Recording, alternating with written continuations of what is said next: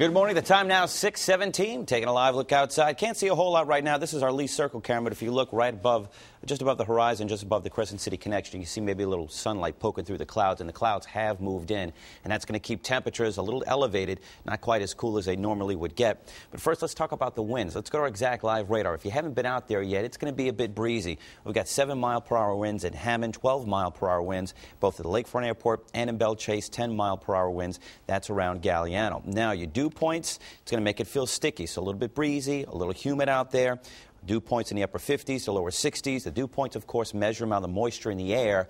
And we've got some moving onshore right now, so it's going to feel, you know, like I said, a bit sticky. The air is a little moist, and your temperature is trending in the lower 60s, 60s for the most part. Now, your, your ExactCast headline shaking up like this.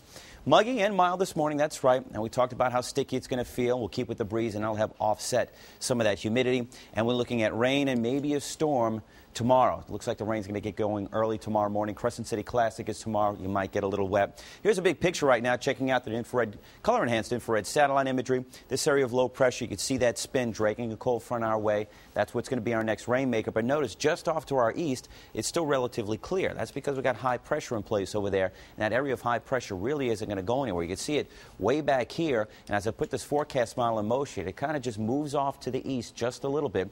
And it's going to be, this cold front is going to encounter this area of high pressure. And that's why I think this cold front is going to start dissipating as it gets just a bit closer. 349 early tomorrow morning.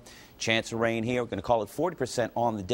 728 tomorrow morning. Race starts about an hour after that. You'll probably have to dodge a few raindrops, running in the wet a little bit. It's going to be a little humid. It'll be a little warm. Some of you may like to run in the rain. And by 4 o'clock, it's all done with. Now, tomorrow, or rather Sunday morning, sunrise services 656 look to be dry, although it is going to be a little muggy and it is going to be cloudy. Quick look at your seven-day ExactCast showing those chances of rain tomorrow. Like I said, 40%, and we'll go for a 20% chance of rain Easter Sunday. That'll be mainly in the afternoon. Pop-up type of showers with the moisture in place. It is a possibility. Melanie, back to you.